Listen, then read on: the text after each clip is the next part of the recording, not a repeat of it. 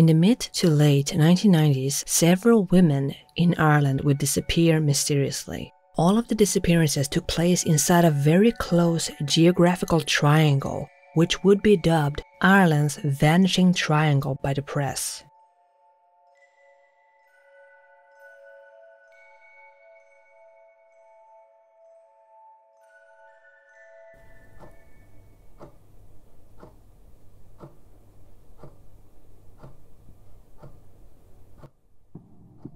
The most well known case of this is probably the disappearance of Annie McCarrick. McCarrick was born on Long Island, New York on the 21st of March 1966. In January 1987, she decided to move to Ireland and lived there until her disappearance on March 26, 1993. On that day, she had left her apartment in Dublin to spend the day in the Wicklow Mountains. She was captured on CCTV in the Allied Irish Bank location in Sandymount, withdrawing money from her bank account. She would then do some shopping before returning to her apartment at around 3 pm. And then, around 40 minutes later, she boarded a bus headed for Enniskerry in the foothills of the Wicklow Mountains.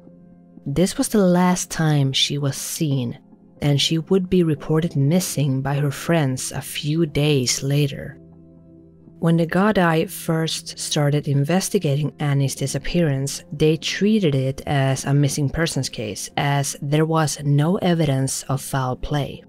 And they devoted huge resources to the investigation, with more than 50 officers working on the case at one point. They searched large areas of the Wicklow and Dublin mountains, but they never found a single trace of Annie anywhere. One witness, a bouncer who worked at Johnny Fox's, which is a pub about six kilometers from Enniskerry, claimed to have seen her in the company of a man in the pub that night. According to this witness, McCarrick was at the pub accompanied by a young man who was wearing a wax jacket. Nobody saw McCarrick or her male friend leave the pub, and this man's identity has never been discovered. It should be pointed out that this sighting has been disputed over the years. Friends of McCarrick say that they don't believe that she was ever there, stating that she didn't really like pubs and she didn't go drinking much, if at all. For instance, Marissa Mackle, who is a friend and former colleague of Annie McCarrick, is quoted as saying, Annie would not have spent the night drinking in Johnny Fox's with a stranger she would not have spent the night drinking with anybody. And referring to the sighting, she said, that was always to me a very unlikely story. Further doubt is put into this witness account because it seems unlikely that McCarrick would have walked all the way from Enniskerry to Glencullen, especially given that it was dark and wet outside that night. But this lead wasn't the only one. There were other alleged sightings of McCarrick where people claimed that they had either seen her somewhere or given her a lift somewhere. The investigators had to follow up every single lead, which sadly may have meant that they were chasing the wrong leads. And the case of Annie McCarrick is still ongoing.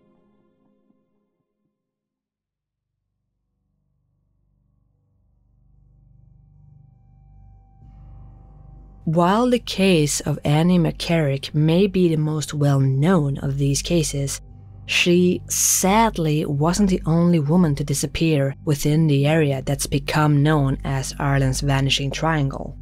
The unofficial listing lists at least eight women. Here's a brief overview of what we know about these cases. On July 25, 1993, 39 year old Eva Brennan of Rathgar went missing. She disappeared after leaving a family lunch at her parents' house in Rathgar. After not hearing from her for two days, her father would go to her apartment to check on her. He rang the doorbell but got no answer. The family owned a pub, and Mr. Brennan decided to head down to get some help, and a barman would help him break a window to the apartment, and they then went inside. The jacket that Eva had worn when she was last seen was still there, but there was no sign of Eva herself. According to the family, there was no investigation of this case for around three months. And the family have criticized the investigators on how they dealt with Eva's disappearance. Eva's sister, Colette McCann, said that Eva would visit her parents' home every day and that she rarely went out. According to some reports, Eva had been depressed prior to her disappearance, but her family does not think that she took her own life. The reason for this is that she was supposedly a spiritual and religious person, and she was close to her parents and, as such, would have left a note or a letter. Because of this, her family is convinced that something happened to her. 22 year old Imelda Keenan on Mountmellick went missing. She was living in Waterford City with her boyfriend Mark Wall. She attended the Central Technical Institute of Waterford, where she undertook a computer course for a short period. On the day of her disappearance, she had allegedly told her boyfriend that she was going to the post office and then had left the apartment at around 1:30 p.m. The last confirmed sighting of her would be when she was seen crossing the road at the corner of the Tower Hotel and Lombard Street. The person who had seen her was a local doctor's secretary who knew her well. But after this sighting, Imelda was never seen again. 21 year old Josephine Jojo Dullard of Callan would go missing on November 9, 1995. At the time, she was living in Harold's Cross. On the day she disappeared, she had met some friends at Bruxelles pub on Harry Street and had stayed with them for the afternoon. She went down to the bus station at approximately 10 pm, but had missed the last bus home, so she had boarded a bus to Kildare instead and arrived in Naas at around 10:50 pm. From there, she had hitched a lift from a driver who had dropped her off in Kilcullen near the edge of the motorway. From there, she would hitch another lift and was dropped off in Moone. And from there, she had called a friend from a phone box and explained that she had missed her bus and was going to hitch her way home.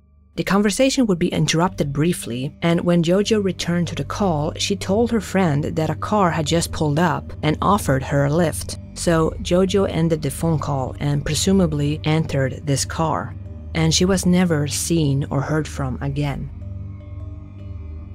On February 13, 1997, 17 year old Ciara Breen of Dundalk went missing. The last person to see her was her mother, Bernadette, who said at the time that they had both gone to bed just after midnight. Sometime after 2 a.m., Bernadette had got up to use the bathroom. It was then she discovered that Ciara was missing. She had seemingly climbed out of a window and left it on the latch, presumably so that she could climb back in once she returned, but she never did. On August 1996, 25 year old Fiona Pender of Tullamore would go missing. The last person to see her was her boyfriend, John Thompson, when she was leaving her apartment. At the time of her disappearance, she was seven months pregnant. Despite the investigation, the case would grow cold, but in May 2008, a small wooden cross bearing the name Fiona Pender was found in the Slieve Bloom Way at the border between Laois and Offaly. On the cross, there was a handwritten message that said, Fiona Pender buried here Thursday, August 22nd, 1996, which of course has led to the belief that Fiona is buried somewhere in the mountains. One interesting detail, and perhaps an important detail, is that the date that is written on this cross clashes with John Thompson's claim of having seen her the morning of the 23rd. If she was buried in the mountains on August 22nd, he could not have seen her on the 23rd. 18 year old Deirdre Jacob of Newbridge would go missing on July 28, 1998. She would disappear when she was walking home to her parents' home. In fact, she was supposedly only yards away from her home when she disappeared. She was even seen approaching her parents' home by passing motorists as well as numerous other sightings, but she never made it to the house. No trace of her has ever been found and she was never seen again. Because of the detail of her being so close to her parents' home, her case is often seen as the most puzzling of all of these cases. How could she disappear when she was so close to her parents' home? and was seen so close to her parents' home. The last disappearance that would be included in the list of Ireland's vanishing triangle was the case of 19 year old Fiona Sinnott, who disappeared in 1998. At the time, she was living in Broadway and was last seen leaving Butler's pub in Broadway with her ex boyfriend Sean Carroll who was the father of her 11 month old daughter. When talking to investigators, Carroll would tell them that he had walked Sinnott back to her home and he had spent the night sleeping on her couch. According to Carroll, Fiona had complained that she was having pains in her arms and upper body, so she had gone straight to bed. And he had headed into her bedroom the next morning where she was awake and told him that she was still in pain and would go to her doctor later that day. He claimed that she had no money, so he had given her some money for a lift. He had then left the house. His mother had been waiting outside and then drove them back to her family home. Fiona was never seen again, and during the investigation, it was discovered that she had not gone to see a doctor that day. What's interesting here too is that during the investigation, the police discovered that her home had been stripped bare of a number of her personal belongings. And locals would later report that they had seen a number of black refuse bags outside of the property. A local farmer would even approach the investigators and tell them that he had discovered a number of black bags in the corner of one of his fields. The bags supposedly had a number of items and documents that had Sinnott's name written on them. The farmer had mistakenly thought that these bags were a case of illegal dumping, so he had decided to burn them. It wasn't until the news of Fiona Sinnott's disappearance reached him that he realized just what those bags were. With this new information, investigators began to suspect that somebody was trying to mislead them into thinking that Sinnott had run away. Like many of these other cases, the case would still be ongoing but grow cold. But it would take another strange turn on September 12, 2008, when a memorial plaque for Fiona Sinnott was stolen from a cemetery in Our Lady's Island in Wexford. The marble plaque had been removed the night before it was due to be unveiled.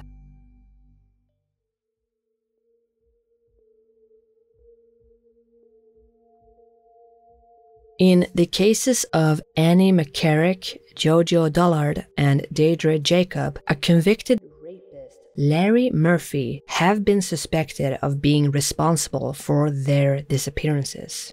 And this is because all of them vanished very close to the area where he lived at the time.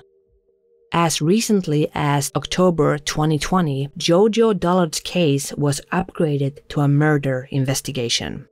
A serial killer is believed to be responsible for some, if not all, of the disappearances, and Larry Murphy is considered the main suspect in at least three of the cases, as I just mentioned. He was convicted and imprisoned in 2001 for the rape and attempted murder of a Carlow businesswoman in the year 2000. He had attacked her and tried to strangle her in a wooded area of the Wicklow Mountains at night. This woman only survived this attack because two hunters had happened upon the scene and intervened. Murphy claims that he had nothing to do with any of these disappearances, and he has been questioned on numerous occasions by the police.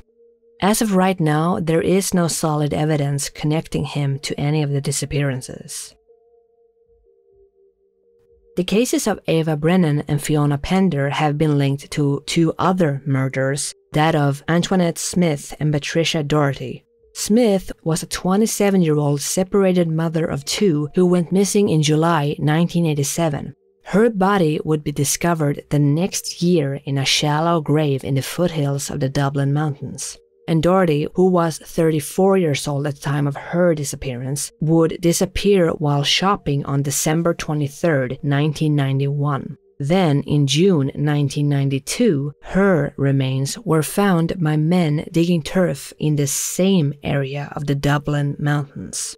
And both of these cases have been linked to Eva Brennan and Fiona Pender. There is also the possibility that a number of these women were victims of intimate partner homicide by their boyfriends or ex boyfriends. In at least three of the cases, that of Fiona Sinnott, Ciara Breen, and Fiona Pender, it is believed that the murder was personal and that the person responsible was someone that the victim knew well. Ciara Breen went missing when she snuck out of her house one night, and rumor has it that she was meeting a secret boyfriend who was supposedly married, though I wasn't able to confirm that. The Gardaí also believed that Fiona Sinnott's killer was someone well known to her, possibly the last person who saw her alive, her ex boyfriend. And her case was also upgraded to a murder investigation in 2005.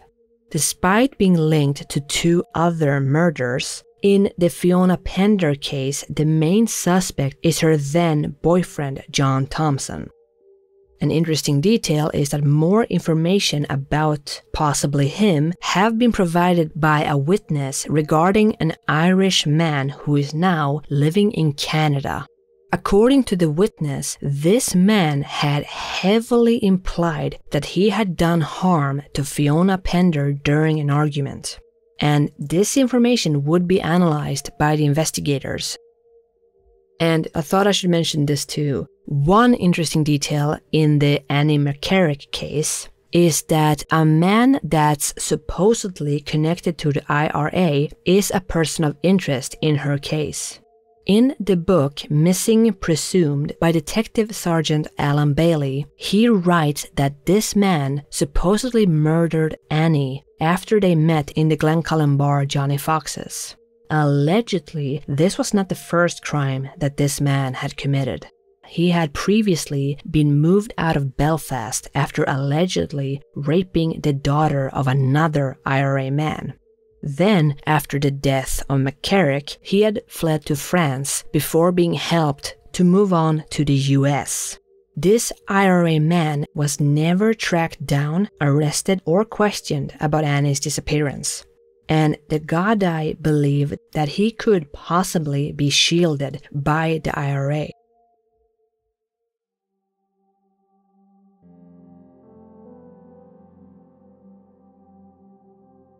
While the term Ireland's Vanishing Triangle sounds mysterious and intriguing, it is more of an umbrella term for these strange disappearances, similar to the Highway of Tears in Canada. All of these cases are still ongoing, and it's possible that someone out there has a piece of the puzzle that might make a difference for all of these cases in different ways. For the sake of the loved ones of these women, we can only hope that we, and most importantly, they finally get some answers and some closure.